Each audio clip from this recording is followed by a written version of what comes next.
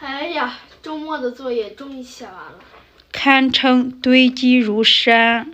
这个周末你的作业完成的比较早，你有一个小时的休闲时间。我要去逛精品屋。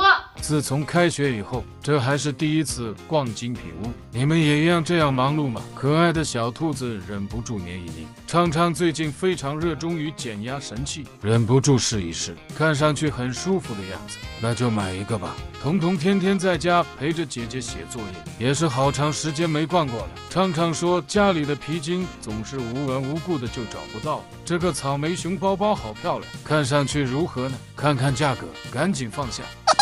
是我买不起的样子。彤彤在这里犹豫半天了，这么多到底选哪一个呢？最终选了草莓熊。今天就买了这些东西。每周一个小时的时间，要抓紧时间快乐。逛精品屋这段时间，我们点的美食也做好了。妈妈说这样不会浪费每一秒。虽然只有一小时，但我们超开心哦。